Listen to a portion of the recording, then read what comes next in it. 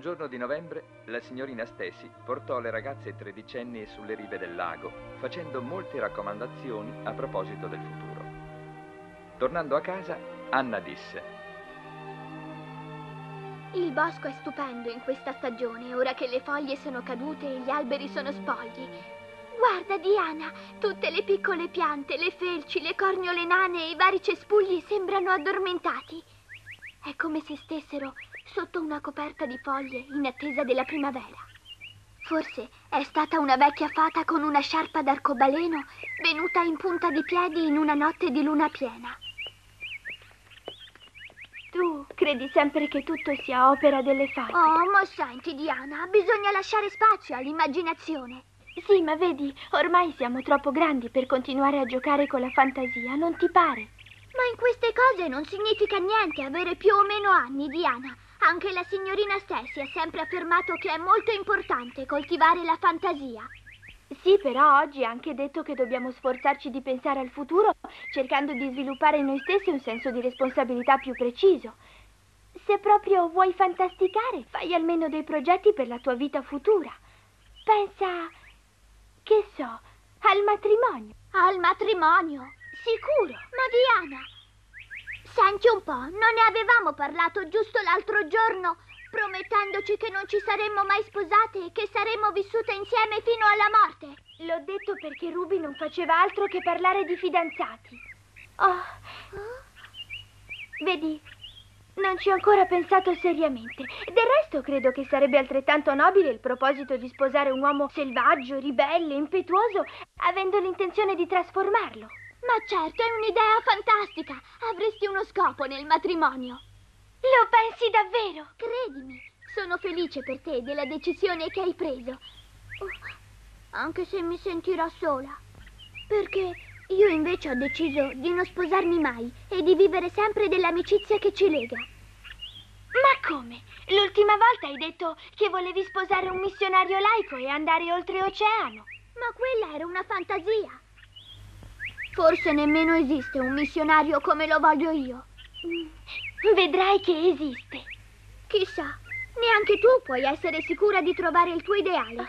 E in ogni caso dovremo vivere da sole fino a quel momento. Ecco.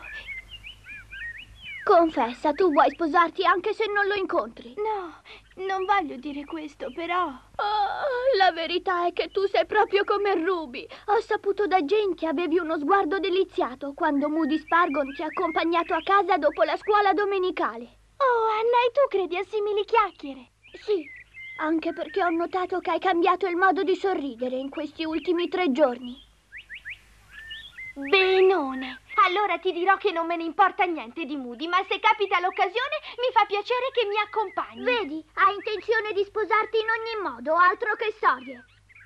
Preferisci la compagnia dei ragazzi alla nostra amicizia, non è così? Perché mi dici così?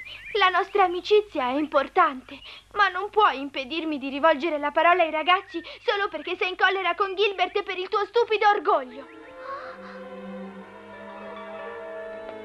Basta, la nostra amicizia è finita. Anna!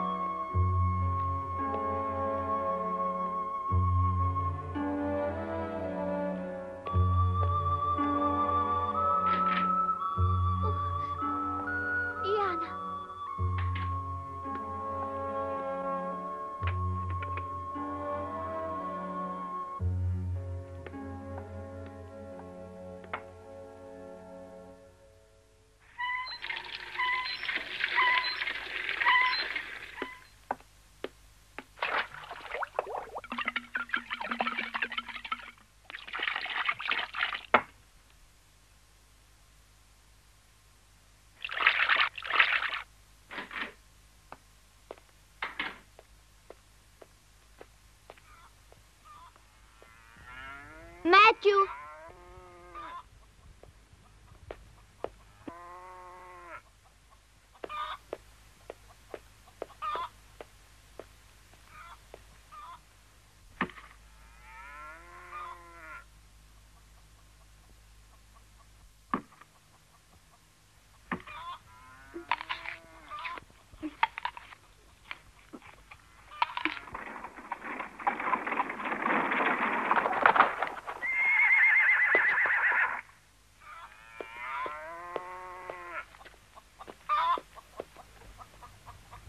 Salve Jerry, il Matthew non è ancora tornato.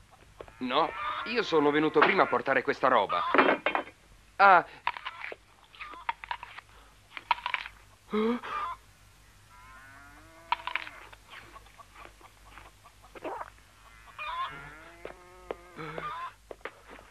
Senti, non era mica quella che era sul barile? Perché gridi? Te l'ha rimessa da parte? No, no, non è per questo, Anna. Dio mio, che disgrazia! È una mela avvelenata.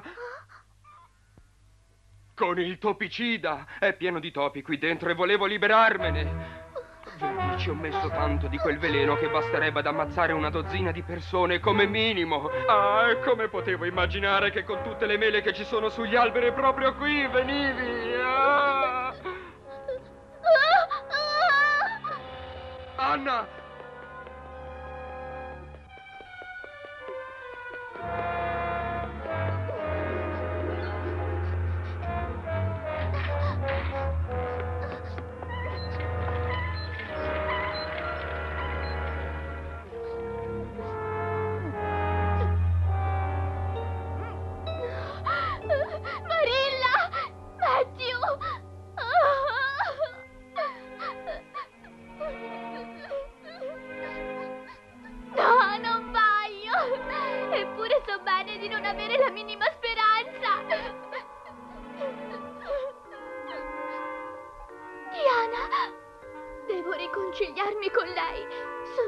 Cattiva nei suoi confronti.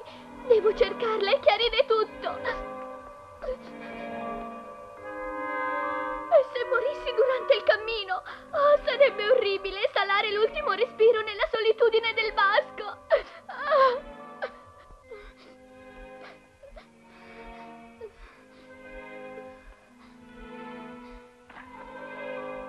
Fra non molto, rientrando a casa, Marilla e Matthew mi troveranno già cadavere. Dire addio a tutto ciò che ho di più caro. Che presto ogni cosa finirà per colpa di una semplice mela. È ingiusto che sia così. Non voglio morire. Fate qualcosa.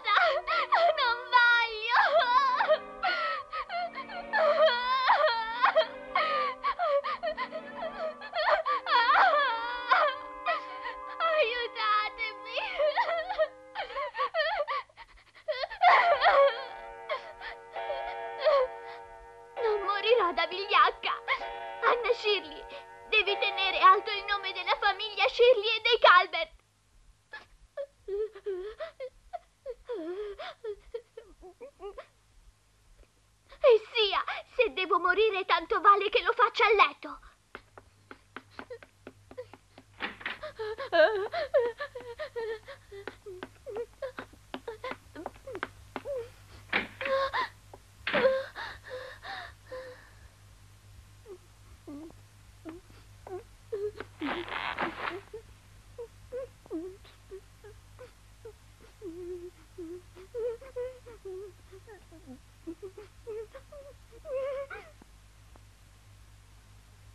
Chissà quanto ci vorrà. Jerry ha detto che il veleno potrebbe uccidere una dozzina di persone, quindi deve essere potente. Ma quanto ci vuole perché entri in circolazione? Tre quarti d'ora? Magari anche di meno? Ah, come sono stata felice fino a qualche attimo fa! Spero di avere il tempo per scrivere due righe ai Calvert e anche a Diana. Diana dovrà rimpiangere la mia morte. Dovrà rimpiangerla tanto. Anche se buona parte della responsabilità per il litigio di prima ce l'ho io. Oh, non ho il tempo per scusarmi. Come sono fredde le mani. È un sogno che si avvicina all'ora della morte forse il viso è già cianotico. Oh, lo sapevo, ho un aspetto cadaverico. Non ne avrò per molto ancora. Sento di morire, però se deve succedere, almeno cercherò di farlo nel modo più dignitoso possibile.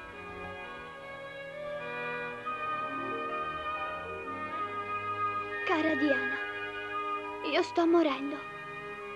Ho mangiato una mela che Jerry aveva cosparso di veleno per topi. Non mi vedrai mai più e ti scrivo per farti sapere che ti voglio sempre bene. E anche che sono molto pentita di quanto ci ho detto oggi. Mi dispiace, Diana. Comunque ora non ha più importanza, visto che non potrò né sposarmi né vivere con te. Oh, Diana! Che disgrazia! Ancora non sento niente, ma non so cosa avverrà appena il veleno entrerà nel sangue. Jerry ha detto che su quella mela c'era veleno sufficiente ad uccidere una dozzina di persone. Penso che non vivrò ancora a lungo.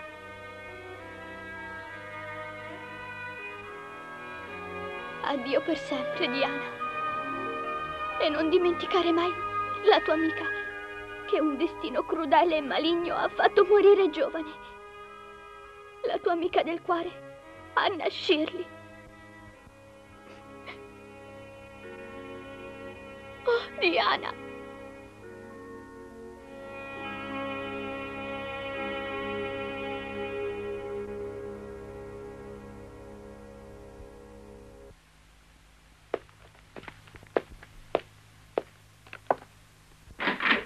Anna, Anna, Anna, Anna, dove sei?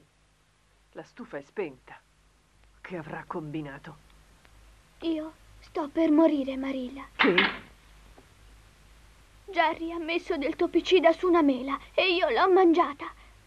Da un momento all'altro il veleno farà il suo effetto e io morirò, Marilla. Anna, cos'è un altro dei tuoi scherzi? Ma come puoi parlare così? Secondo te una persona che sta morendo può aver voglia di scherzare? Ti prego di leggerla più tardi. E questa qui è per Diana. Non mostrare a nessuno il mio viso quando morirò. Non voglio che mi vedano con il volto cianotico. Anna, quanto tempo è passato da quando hai mangiato la mela? Circa un'ora, mi pare. Se la mela fosse stata avvelenata saresti già morta, o almeno ti contorceresti in preda a dolori lancinanti. Però qualche dolorino allo stomaco già lo sento. Uh, come mai non avete acceso la lampada? Matthew, dove sta Jerry Butt? Ecco, veramente è nella stalla o forse è già tornato a casa. Come ti sembrava? Come al solito. Almeno mi sembra. Anna, vieni con me.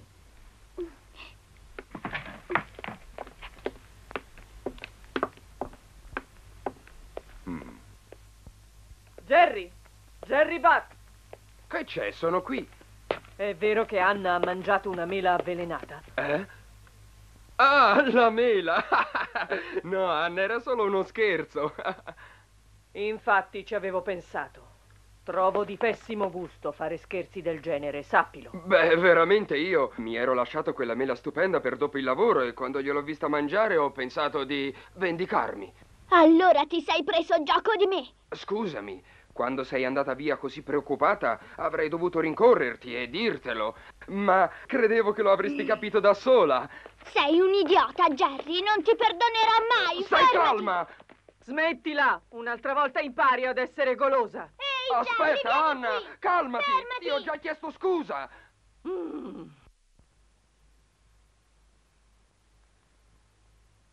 Però, Marilla, io avevo veramente dei dolori allo stomaco. Eh, lo credo bene. Con tutto il tempo che sei stata a piangere era il minimo che ti potesse capitare. Oh, mi viene in mente una cosa, Anna. Ho incontrato la signorina Stesi venendo qui. E si stava dirigendo proprio da noi.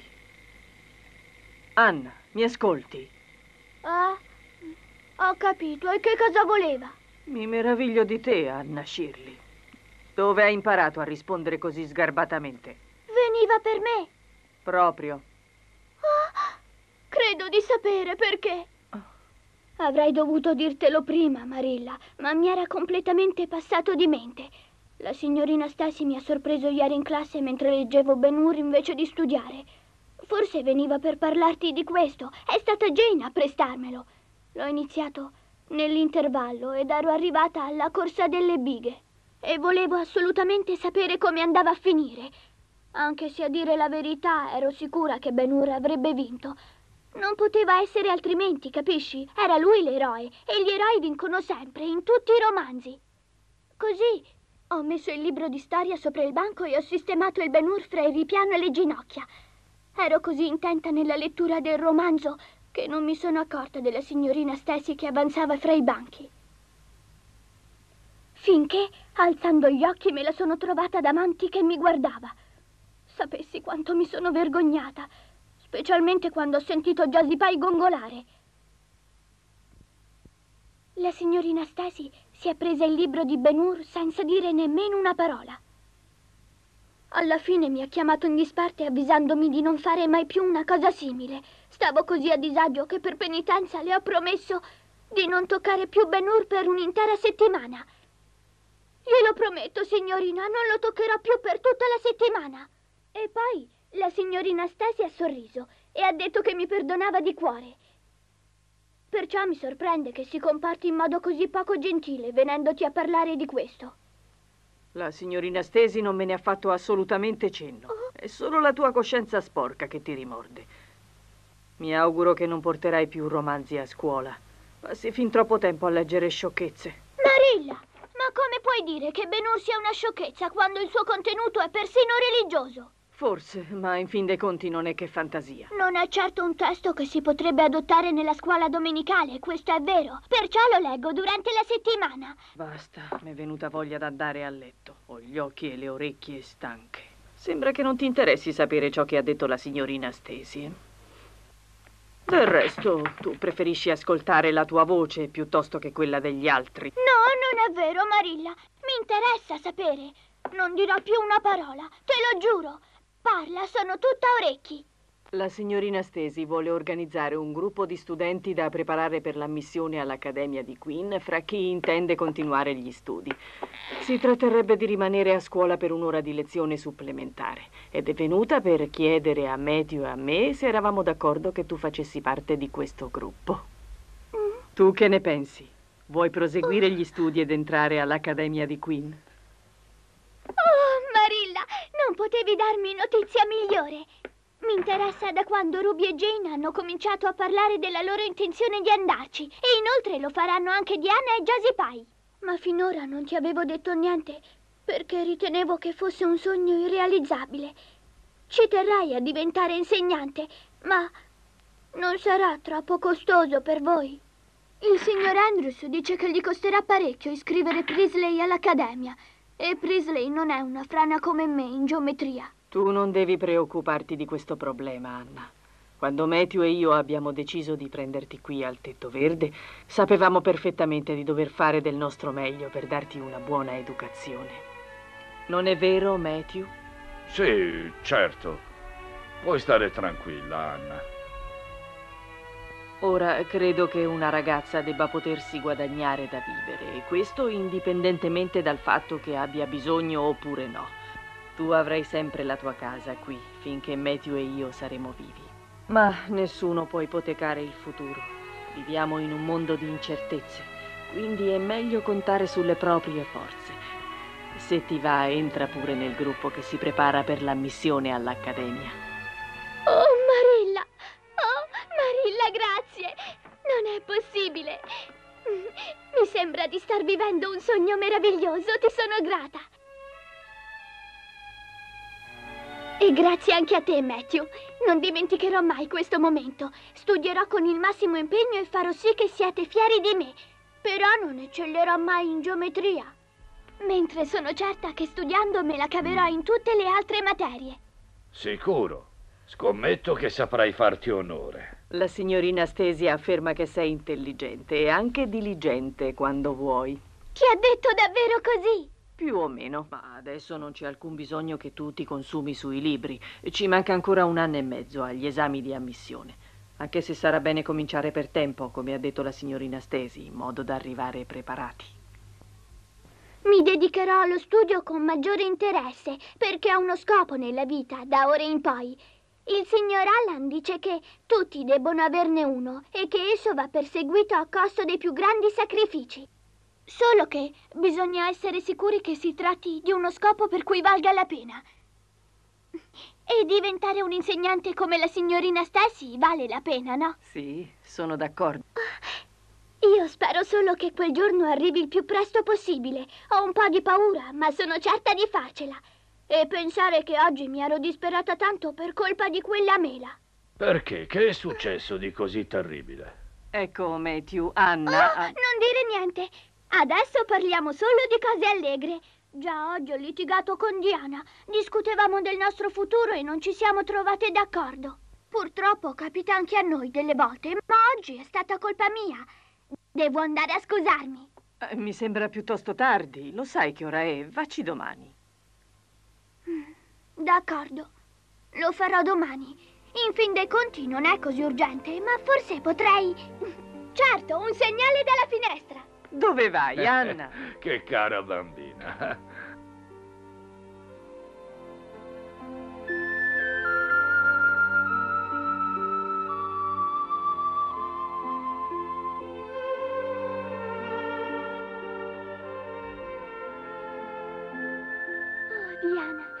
Sicura che ne sarai felice.